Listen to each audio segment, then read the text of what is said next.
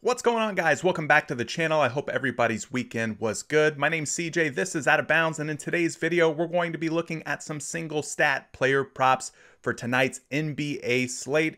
We've got a handful of games here to take a look at. I'm going to be talking about some points, some assists, uh, no rebounds for this video, but I do have one three-point prop that I want to talk about. So mostly point props and some assist props, and I got a couple other little things trickled in. But if this is your first time on the channel, definitely hit the subscribe button and turn on notifications. It is going to become more and more important that you have notifications turned on because things in the video that I discuss, if you don't catch them right away, they will be changed within about an hour or so. So having notifications turned on will definitely be your best friend. Please do it. It helps me out quite a bit as well. So I've got a subscription goal here in mind. Now we're uh, just past 1,120 subscribers. I'd like to get to 1,200 subscribers. That would be awesome to hit that by the end of the week. So if you haven't subscribed yet, make sure you do. And, uh, you know, I think we could get there. Now, the like goals have been a little lofty lately. I've been jacking them up. I kept increasing them, increasing them, and see if I could finally get ahead of you guys. And I think I finally have. So we're going to bring them down a little bit. We're going to push it back down to 44 and a half is the goal. I'm going to take the over, meaning we got to hit about 45 or more likes on today's video in order to achieve that over. So without further ado, let's talk about some NBA news real quick. Of course, we've got Bradley Beal, one of the biggest news stories of today that's going to impact Russell Westbrook and the rest of these Washington Wizards. Easy for me to say. Bradley Beal dealing with a hamstring injury. He's going to be out for the Wizards until at least Friday. Of course, him and Steph Curry have been going back and forth. They've got a scoring battle, a scoring duel to take the scoring crown uh, underway, so we'll see how that plays out. LeBron James looks like he's going to be returning for the Los Angeles Lakers on Tuesday, so that doesn't impact today's slate, but that is important news to discuss as well. Uh, let's move on down here and see who else is impactful uh, for injury news today. We got Carmelo Anthony dealing with an ankle injury. He's questionable for Portland on Monday, so we may see Carmelo, we may not. Looks like Kelly Olynyk is dealing with an ankle injury. He's questionable for the Houston Rockets on Monday. He's been playing pretty good basketball ever since he got traded from the or from the Miami Heat to the Houston Rockets. So, be interesting to see if he suits up. Uh, let's see what else we've got here. Utah's Mike Conley continues to be out for the Jazz, so we're not going to see Mike Conley tonight. Uh, he's missed quite a few games here lately.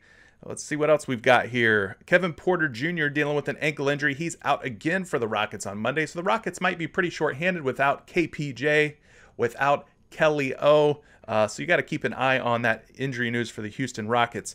Christian Wood, another guy here, dealing with an ankle injury. He's questionable for the Houston Rockets on Monday. So I don't know, man. Maybe the Rockets are looking like a uh, team who doesn't have anything to play for, and they're looking to rest some of their talented players. Why put the extra mileage on these guys uh, when you're not going to sniff the postseason this season? So that might be their mindset here, but. Uh, otherwise, Pacers Malcolm Brogdon dealing with a hamstring injury. He's questionable for Indiana on Monday, so we'll have to wait and see on Malcolm Brogdon news and see if he's uh, able to play for Indiana or not. Uh, Grayson Allen, abdominal injury, is out on Monday. So Grayson Allen's a little beat up right now, dealing with a couple of different nagging injuries. But that's going to be it. Let's wrap up this news and get to some of these props because we got uh, eight of them, uh, per usual, to talk about. And the first one that we are going to discuss is this guy right here. Mr. Russell Westbrook, who is having just another historical, fantastic season. In fact, he just uh, tied Oscar Robertson for the most career triple doubles at 181. And I've got to believe that he will do everything in his power to break that tie by the end of this season. So, no Bradley Beal tonight. Russell Westbrook up there at 26 and a half points. Let's go take a look at the game totals and spread. Then we'll move into looking at what his points projection is over on numberFire. And then from there, we'll head over to NBA.com. We'll look at his season averages, his last five game averages, and then we'll finally wrap things up over on RotoWire, where we could take a look at the different sports books and see how the action's coming in on the over or the under on all of these various props. So that's the format of the show. Let's get it going here. So we've got the uh, total here for this game. Washington Wizards at the Atlanta Hawks. Game tips off at 7:40 p.m. Over on PrizePicks, you can see it's 236 and a half implied points. Pretty big total here, so I expect a lot of points to be scored in this one. Now, things are looking a little shaky here in terms of the spread, meaning that there's a chance that this game can blow out. It's a seven and a half point spread. Uh, I'm on the fence here. You know, do I think it blows out? Possibly. Without Bradley Beal for Washington, I think it's going to be hard for them to try and hang around in this game. But, you know, Westbrook is the uh, Energizer Bunny. He's going to do everything that he possibly can to make this one a competitive game. So, now that we kind of know how the game is setting up, we can just scroll down here. We got Russell Westbrook projected at 27.4 points which is higher than 26 and a half. So, so far it's looking like the over on Westbrook and these points is looking like the way to go. So let's move over to NBA.com. Now, NBA.com is totally free. Numberfire, the previous site we were just looking at, totally free. And the other site we're going to look at, RotoWire, is also totally free. So these are all free tools. All it takes is a little bit of time, a little bit of know-how, and you can go and do this research yourself. Now, if you don't have time to do it, hey, I don't blame you. Monday through Friday is when I try to provide the most content because I know people out there are working hard. So that's where these videos come into play. And if you want even more content than I offer in these videos, well, that's where the Patreon membership, link down in the description below to Discord, Patreon, all that stuff is down there. But offer a Patreon membership that goes above and beyond and, and gives you even more stats and props and player projections and things like that because, you know, I'm trying to help the working man or woman out who watches this channel. So, anyway, Russell Westbrook for the season, 22 points per game. Now, that's quite a bit lower than 26 and a half, but of course, without Beal, uh, this is a totally different situation. Now, in his last five games, when we run that little report, 26.2 points per game. So he's right up there around that 26 and a half mark. So that's a good sign there. That was probably with Bradley Beal in most of those games, if not all of those games. So now you take Beal out of the equation. Russell Westbrook scoring and everything else should probably go up. So from there, we're going to move over to RotoWire and type in Westbrook's name. And you can see that we've got a couple of point props up. We don't have one up on DK, but across the board here at 26 and a half points, you've got an over minus 116. You got an over at minus 125. And then this last site here, action's kind of split. Uh, we're not really seeing any juice over or under on Russell Westbrook in this 26 and a half point prop. All in all, guys, I think he's playing with some extra added motivation, looking to break that triple double record. Hopefully, his scoring production is up now without Bradley Beal in the lineup. Totals are pretty high. Spread is a little concerning. Maybe it gets out of hand. Maybe it turns into a blowout, but hopefully it doesn't happen until later on in the game. Uh, on top of that, uh, the projections are looking good here for Russell Westbrook to go over 26 and a half points. So I'm going to stick with it. I think this is a game here where Russell Westbrook looks to uh, basically shoulder the load, put the team on his back, and uh, I think he can go over 26 and a half points against a pretty soft Atlanta Hawks backcourt. So there you have it for Russell Westbrook. Now, while we're talking Washington Wizards, let's talk about this other little guy here, Raul Neto. Now, Neto is at 10 and a half points. I think there's a chance for him to go over in this situation as well. So with Beal being out, I don't think Westbrook is the only sole beneficiary here. I think Bradley Beal's absence also helps guys like Neto, maybe Rui Hachimura, but in this case, I'm looking at Neto here. So at 10 and a half points, let's see if the over or the under is looking like the way to go. So back on Numberfire, you can see we've got the uh, points column highlighted yellow here, and he's projected for 11 points. So if we're looking to take the over on Neto in these points here, well, 11 or more is where we need him to be. So 11 is a great step in the right direction here. So let's move over to NBA.com. We'll do a little search. Type in Neto's name. I control click because I like to have a new tab open here and keep the old tab open. And then you can see his player card, 8.6 points per game. Now that is quite a bit less than 10.5 points, but again, no Beal is a big, big impact here. Lots of usage opens up, lots of opportunities for other guys to score and things like that. So we're going to click stats, traditional splits, advanced filters, change this to the last five games, and click run here.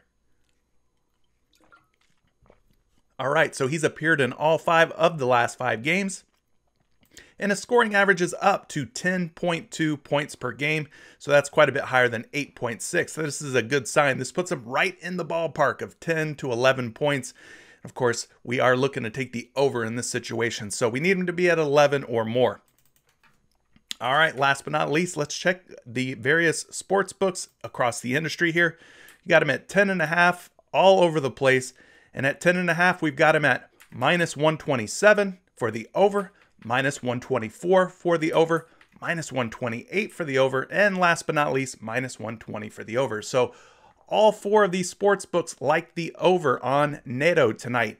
I do too. I think his last five games where his scoring averages are starting to trend upward is also a good sign. He's also projected to go for more than 10 and a half points, another thing that works in our favor. Plus, this game has very high totals, and it, even if it does blow out, I would expect a guy like Neto to probably get uh, additional run in a blowout where maybe Ru Russell Westbrook would see the bench a little early. So there you have it. I'm taking the over and sticking with it on Neto. Now, the other side of this game, we've got John Collins, the power forward for the Atlanta Hawks. Of course, they're taking on the Washington Wizards. So 15 and a half points for John Collins. I don't know if that's quite enough points. Let's go find out. We're going to do the little research together. So we've already talked about the game totals and the spread. So we're going to type in Collins' name here. Saves us a little bit of time. So 16.1 points is his projection over on numberFire. Now, obviously, 16 0.1 is more than 15.5. So the over is looking like the direction we need to be targeting in this situation with this player prop. So let's move over here to NBA.com. We'll type in Collins' name, open up a new tab, control click, command click if you're on a Mac.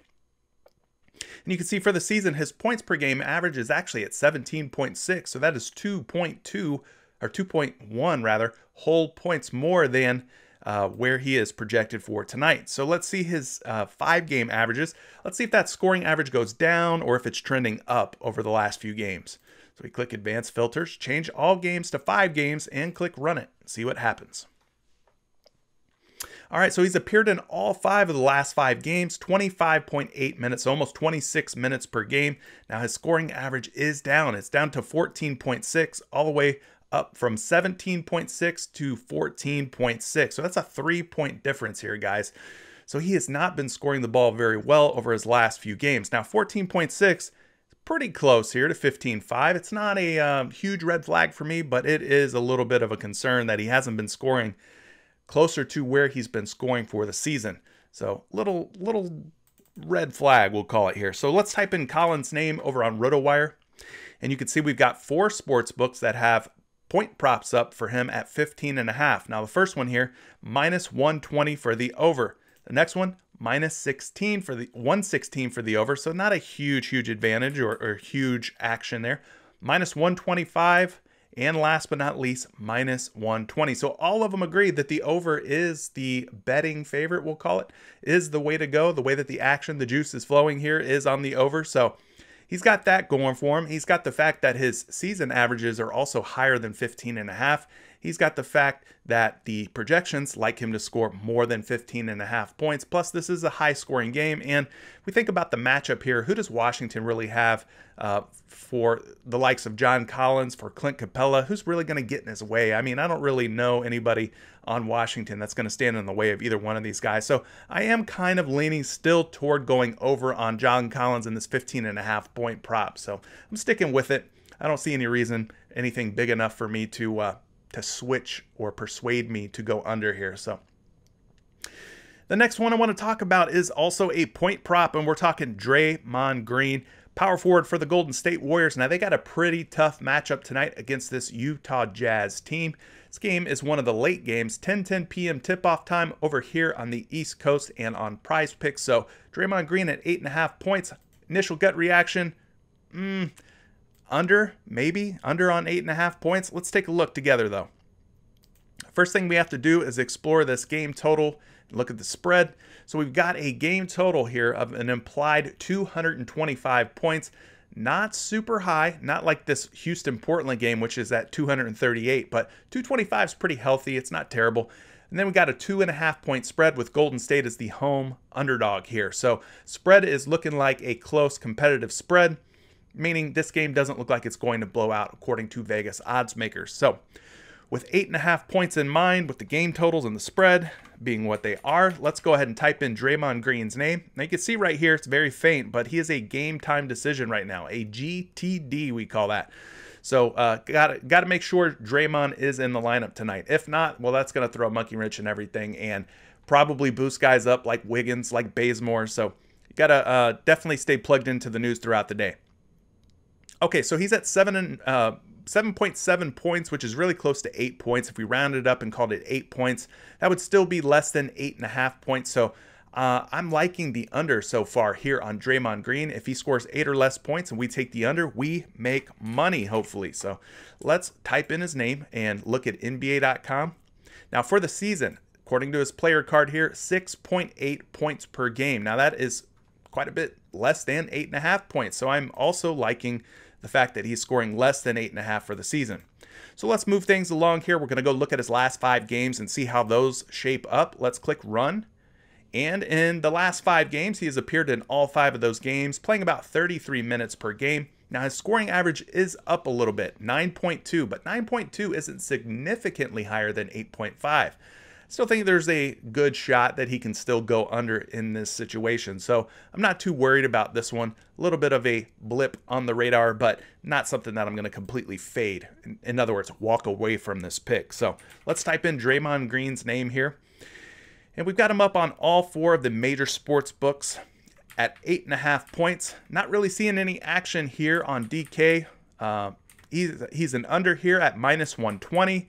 Uh, he's a minus 118 over, which is a little bit of a deviation from our previous sports book. And then finally, the last book here, again, not really seeing any juice, any action on the over or the under. So, not really getting a clear read here from the various sports books on how people are laying down their hard-earned cash. So, kind of not uh, not helpful at all to us. But uh, the fact that his season scoring averages are below eight and a half uh, his last five game averages, they're a little bit higher than eight and a half, but they're still in the same um, neck of the woods, the ballpark here of eight and a half points. So I still think that there's a chance that he can go under and return closer to something around his season averages.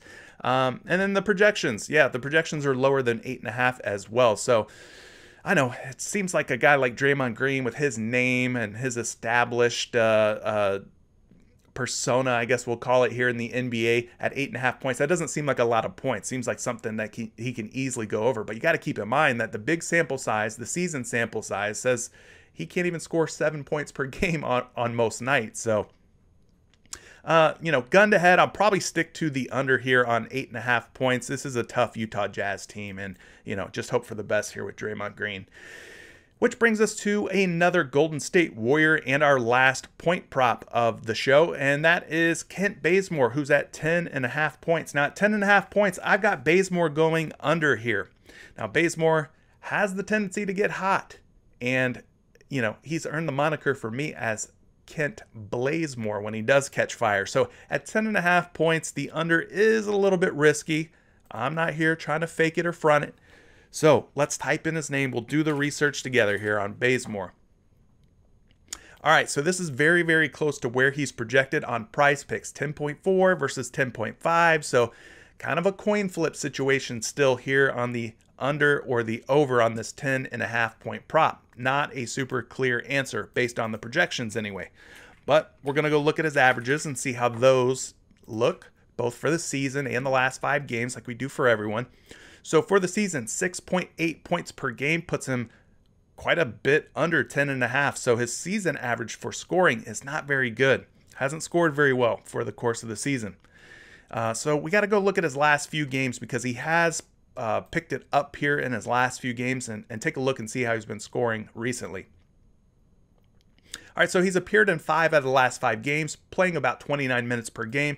Scoring average is up. He's at 7.6 points, which is almost a full point more than his season average. But guys, 7.6, still quite a bit under 10 and a half, almost three full points under 10 and a half points. So the under is still looking like the way that I am going here.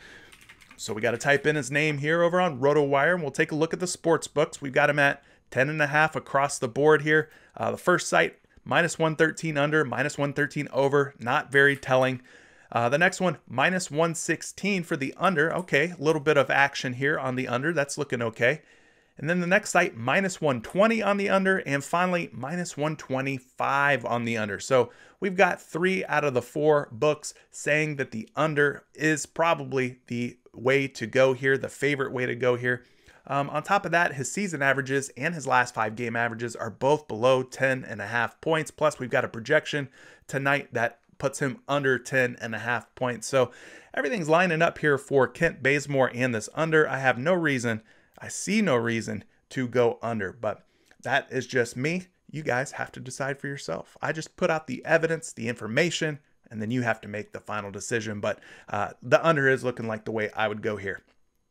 All right, so that was five point props we just covered, which means we've got three more props to go. The next two are going to be assist props, according to my notes here. So let's move over to the assist category. And the first one I want to talk about is Ja Morant. Now, Ja Morant's at seven and a half assists. To me, that seems high, but he is playing the New Orleans Pelicans tonight. Game tips off at 8:10 p.m. So in this situation, we know the Pelicans aren't very good defensively, especially their backcourt maybe Ja Morant can dish out more than seven and a half assists. Let's do the research here. Let's go to the game totals and the spread real quick. So we've got 228 and a half implied points with Memphis as a nine point home favorite. So there's a little bit of blowout risk, a little bit of blowout potential in this game. With a nine point spread, you always have to be on the lookout and be a little concerned with that number. Let's type in Ja Morant's name we will click the assist column here. And you can see that he is projected at 7.8 assists tonight. Now that's closer to 8 than it is 7. So if we are looking to go over, well then this is a good step in the right direction, a good first sign here. So we'll move back to NBA.com. Let's type in Morant's name, open up a new tab. And for the season, you can see he's dishing out 7.3 assists. Now, I wish that number was closer to 8, but it's not. It's closer to 7. So we got to uh, check his last five games here. Let's see if that number is trending up or trending down versus his season average. We'll click traditional splits. We'll click the filters. We'll change that to five. You know the drill. And then we'll click run it. All right, so in his last five games, he's appeared in all five. He's playing 36 minutes per game. His assist numbers are actually on a downturn, a down trend. 6.8 assists is lower than 7.3 and also lower than 7.5. So, yeah, I'm a little concerned here. This is a little bit of a red flag. I'd call it a little bit more than a little red flag. I'd call this a, a, a red flag, just a red flag in general. Season averages and his last five game averages are both lower than seven and a half assists. So it's looking a little dicey here. I might be flip flopping on this prop. So we click the assist button type in Morant's name, and you can see that across the board here. He is at seven and a half assists. Now they got him going over at minus 125, over at minus 130, over at minus 133, and finally an over at minus 134. Now it takes a lot, it takes some big stones, we'll say, to go against these different sports books in Vegas. I usually don't like to do that. Uh, you have to be pretty brave here so in this case, we've got projections that say he can go over seven and a half assists, and we've got Vegas, four different books saying that he could go over seven and a half assists, but it flies in the face of both his season averages and his last five games. So I can understand if you don't feel good about it, but if you were forcing me to make a decision, I would probably just try to go for the over here on Ja Morant and these seven and a half assists. Do I feel comfortable about it? No. Does it feel like gambling? It absolutely feels like gambling. So there you go on Ja Morant. Now, hopefully this next assist prop is a little more friendly, a little more easy for us to just click the over or the under on. And that's Jrue Holiday. We've got him at six and a half dimes here over on PrizePicks. They're taking on the San Antonio Spurs. Game tips off at 8.40 p.m. So let's head back to Number Numberfire. And we'll start things off by looking at the game totals and the spread in this one. So we've got 233 and a half points. Very good total, in my opinion. San Antonio is a seven point underdog in this case, though. So not a uh, complete smash situation like this other game here 14 and a half point spread. It's just a seven point spread. So I think this is a good situation with the high game totals and the spread being somewhat close ish, where Jrue Holiday can potentially go uh, for less than six and a half assists, but let, let's let's just see here. Let's open up the uh, little search engine. We'll type in Jrue Holiday's name. Wow, okay, so he's at 5.7 assists. So despite the totals and, and all that, they think that he's going to go for less than six and a half assists here. So that is kind of lining up with my initial gut reaction. Let's go look at his uh, season averages, five game averages, and see how that goes. Now, for the season, wow, 5.9 assists per game, which is kind of low for a point guard, but you also have to keep in mind that there's some high usage guys on this team, both Khris Middleton, Giannis Antetokounmpo, of course, and even Donte DiVincenzo. The ball is shared here on this Milwaukee Bucks team, so 5.9 assists for the season puts him under six and a half. Let's look at his last five games and see how those go. And when we click run on that report, he's appeared in all five of his last five, playing about 33 and a half minutes per game, and his assist number is actually up.